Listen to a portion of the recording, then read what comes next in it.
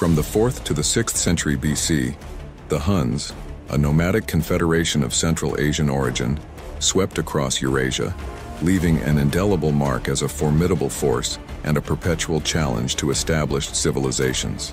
Led by powerful leaders like Attila, the Huns embarked on a series of invasions that struck fear into the hearts of both the Eastern and Western Roman empires. Their mastery of mounted warfare, utilizing skilled horse archers, granted them unmatched mobility on the battlefield. Originating from the vast steppes of Central Asia, the Huns migrated westward, creating a wave of disruption that affected various nations and tribes. The Battle of the Catalaunian Plains in 451 BC, where Attila faced a coalition of Roman and allied forces, marked a pivotal moment in their incursions. Although not a decisive victory, it curbed the Huns' westward advance. Attila, often referred to as the Scourge of God, negotiated with both Roman empires, extracting significant tributes.